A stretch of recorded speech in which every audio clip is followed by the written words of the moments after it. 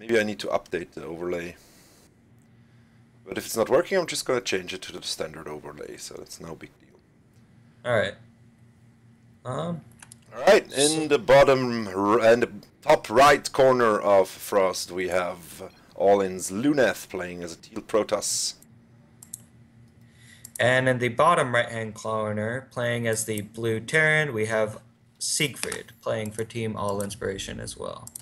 Indeed. Um, So let me see. I, I think this matchup could honestly go either way. I think it's going to be a good match, but uh, depending on what Luneth does in these first couple minutes, um, this actually could like the kind of dynamic in TVP right now is like adept heavy styles within the first five minutes, and then um, after that, in the kind of mid game, Terran takes the uh, aggressive.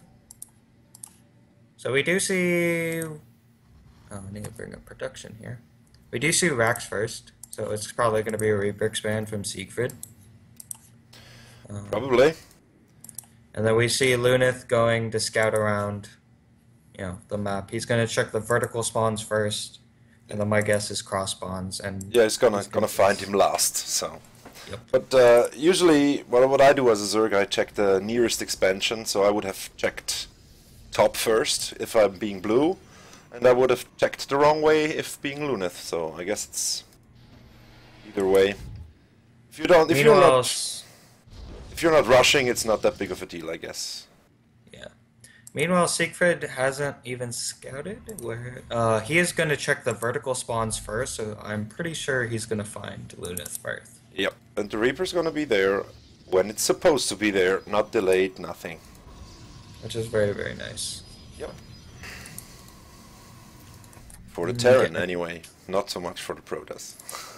Um, even then, I'm not entirely sure. We do see we don't see Mama Core in production yet. Um, so the Reaper might get a little bit of damage done. Yeah, Luneth's complaining about Frost. Yep. Well, he's gonna know soon where he. Well, he knows where he is. Well, is. he, yeah, he knows where he is. Meanwhile, Siegfried is just gonna find him right away. He does see an expansion, which means that nothing particularly cheeky is gonna come out of the Protoss. Nope. No proxies. No kind of. Um, the Reaper is gonna get a. Is gonna harass this mineral Is he gonna line. get a probe? He might. Yep. One goes down there, Yep. but that app's gonna chase him away, at least for now. And the Mama Core is there as well. Two go down actually. All right. Well, he resaturates the gas immediately, so that's good. Uh huh. Seeing Twilight Council going down, so we're probably gonna see some kind of adept aggression here. Um, Yeah, I guess Blink Blink Stalker's not really a thing against Terran, right? yeah. I don't. Uh, if you do it like 4K, it is. Okay, one That's base. the only. I mean, I'm not the best of Terrans, obviously, but that's the only time I've ever really seen Blink Stalkers. Okay. Well, we're gonna know in a second, and it's gonna be a Dark Shrine. Yes. Ooh, I like this. okay. Now he has to stop the Reaper from getting in there again. He cannot let this be scouted. Um, Reaper's gonna try and poke in. Uh, gonna try and go around. He may get in.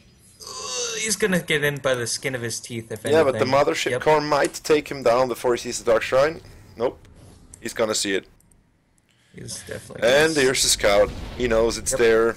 Wasted an overcharge there, not getting the Reaper. And now he can save up some energy Yep. for the scans. We do see an engineering bay going down almost immediately as Siegfried scouts that. Yeah, Um, and then we have a weird floating. starport. Oh, it's gonna, it's re- it's ready to swap onto Yeah. the reactor that the factory is building. Factory was a bit delayed, it seems. There we go. Yep. So this is an interesting thing that's going on right here. This is the two one one um, stim drop. Okay. Um, normally, you this is a TVZ build, but I, and I'm not entirely sure how. Sometimes it works out in uh, TVP, but sometimes, uh, but it's kind of a 50-50 chance. If your opponent's going heavy adepts, uh, it pretty much just invalidates the entire, at least in my opinion, build. Okay. I like the I like the, the missile turret placement a lot there. It's gonna cover the entrance. Um, Yep. The War Prism is ready though, two Dark Templars inside. I don't know what he's hoping to achieve with this. I mean, he knows it has been scouted and he's gonna lose the War Prism. Oh, that's a big thing. But uh, let's see if he's gonna get Dark some Templar- workers. These Dark Templar are definitely gonna go ham here. Yeah. But so Nine will the drop. killed for Luneth, which is actually pretty significant. Oh, but on the opposite end of the map, the drop is going down, and Yes. it's getting quite a done. Um, Overcharge going down. Dark Templars coming to help. They're gonna die though. Good reaction time from Siegfried there with the scan directly, seeing Yep. the Dark Templars coming in. And the DTs have been cleaned up, I guess, down here. DT's going to Uh. town on these Marines. He doesn't have This- enough to stop this, actually. It's gonna this be Nexus tough. might go down. If, uh... Oh, but the Mama Core does come in and uses uh, what everyone refers to as the one-button defense. Yeah, he still has one left.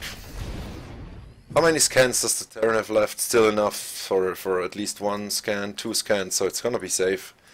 Yeah. But uh, he, oh, actually, two Marines left. That's not gonna do anything. Yeah. He might be, if he gets a little bit greedy, he can maybe pick off a worker or two on the third. Interesting placement of the third, in my opinion. It's towards the Terran. Um, which I guess is smart if you're being if you're planning on being a little Aggressive. bit defensive. Yeah, or aggressive. Well, currently the Terran is uh, down 20 workers, which he can negate to some point with mules, but still, the the attack from Yeah. Luneth did a lot more damage than Siegfried's attack. Yep. So, well, because a missile turret, while it might spot DTs, is not going to do anything against DTs. It's not going to defend. And here we go. Getting some. This is a big push coming out. These I- Stim Marines are just gonna go absolutely ham on this entire small kind of force. Yeah, he's here. gonna this lose Nexus this. Might, yeah, this Nexus is definitely going down. Also, he. He's only down 10 workers now, which is very good, actually. Yep. So, but he needed to do damage with this push. And if you let the Proto sit back and macro a bit, you're just gonna get ran over by the train. Mm-hmm.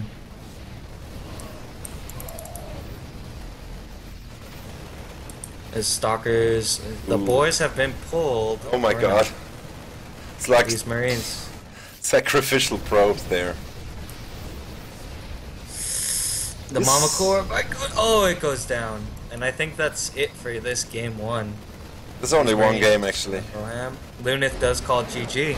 And Here we go. first game goes to Allen Siegfried. And Siegfried advances to the round of eight, where he will meet Riser. Oh. Protoss versus Protoss. Absolutely, I don't know anything about that matchup. Yeah, me neither, but it's gonna be interesting. Very interesting indeed. So we will wait for the match Puddle versus Ultralisk ending if it hasn't already. And then we shall continue to the round of eight.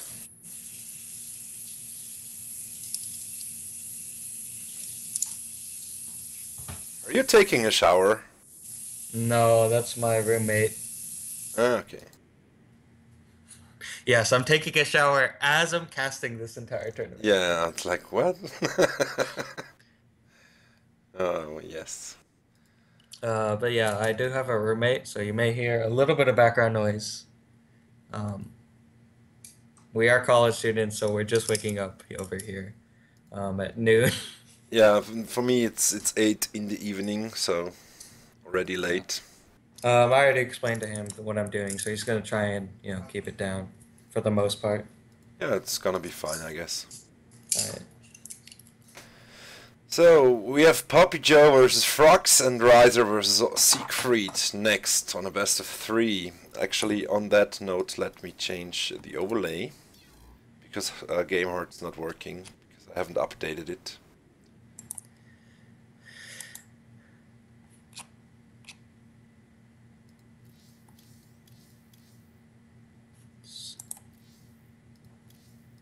Ah.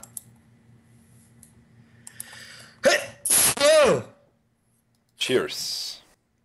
Thank you. Cheers. I've never heard that. I don't know what to say. Bless you, probably, right? Because Yeah. we say Gesundheit. I've heard Gesundheit.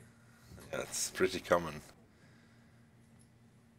People usually say it if they don't understand what you're talking about, right? They say Gesundheit. Yeah, that means like good health, right? Yeah, exactly.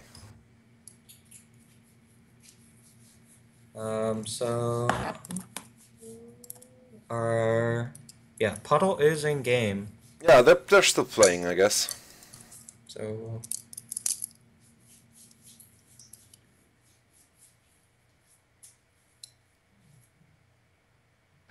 Well, well, we will see.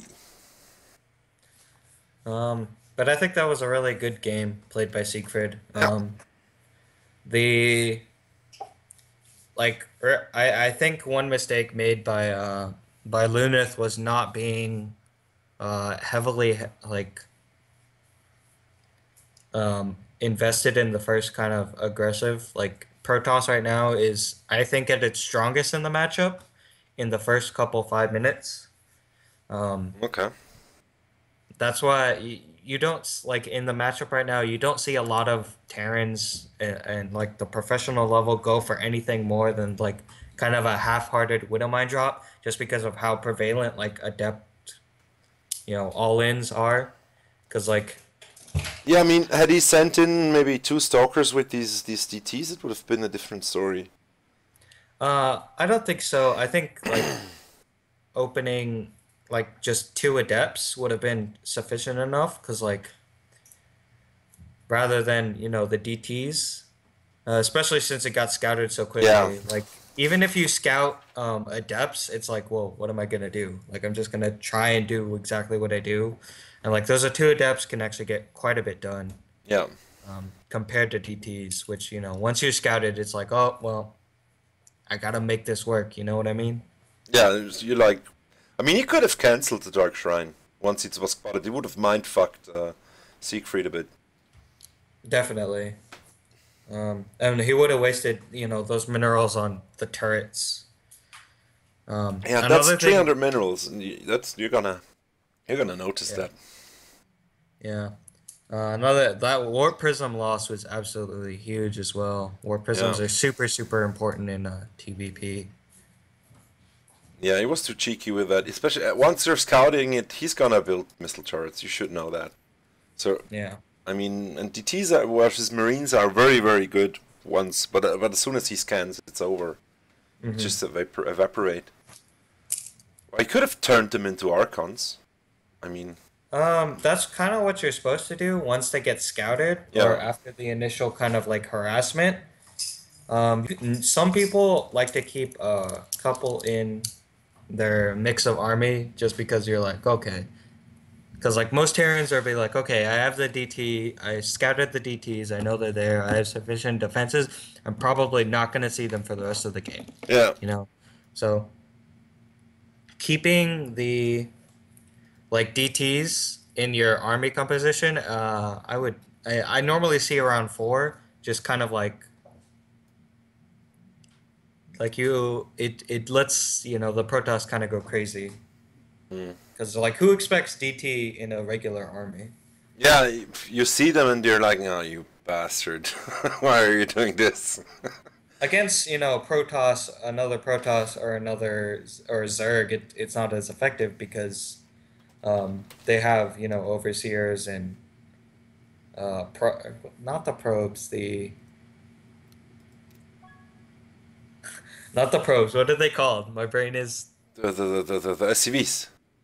not the SCVs. Drones. The Well, I, I didn't Um, listen. I was I was uh, looking at the chat here. I'm sorry. What, what, what was the question? okay, so uh, like I don't think DTS are as effective again in like your army composition Yeah. as against Zerg or Protoss because Zerg has overseers and Yeah. um, Protoss have the things that I can't for whatever reason remember they're invisible and they see other invisible things. Observers. Observers. There we go. I I'm an idiot. I forgot that we were called that. Yeah. Okay. Um, So we're, we're gonna cast Siegfried versus Riser yet, but we're gonna wait uh, to start the next round. Just so the other guys can catch up and the brackets will be on the same page. uh-huh. But yeah, so DT is good against Terran because they don't have, you know, perfect um, kind of detection. Yeah. Okay, we're gonna take five, guys, because the, the other bracket's not ready. So, um, and then we'll be back with the Riser versus Siegfried, the PvP. All